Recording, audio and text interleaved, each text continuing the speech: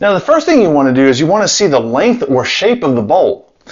This is an elongated model. It's about 18 and a half inches from back to front. Other models will be a shorter bolt and a, therefore a whole different toilet seat. Once you have your replacement toilet seat, then you want to remove the old toilet seat. You may want to use a pair of rubber gloves or if you have teenage boys, a hazmat suit. Now you need a pair of pliers and a screwdriver.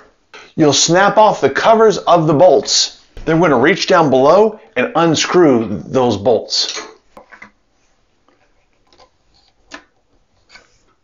Now these bolts are nylon. For metal bolts, you may need to use a penetrating oil or a spray, or you may need to cut them off with a hacksaw, depending on how corroded they are. Remove the bolt and the toilet seat. Now the new toilet seat came with metal bolts. Personally, I like to avoid the rust and corrosion. I'm going to use the nylon that was on the old toilet seat.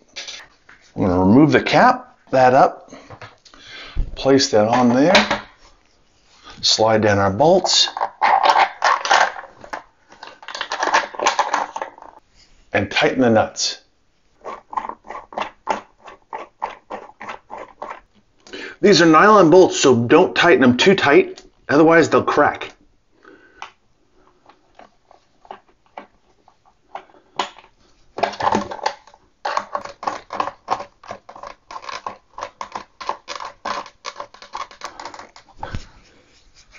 Align it and tighten it down.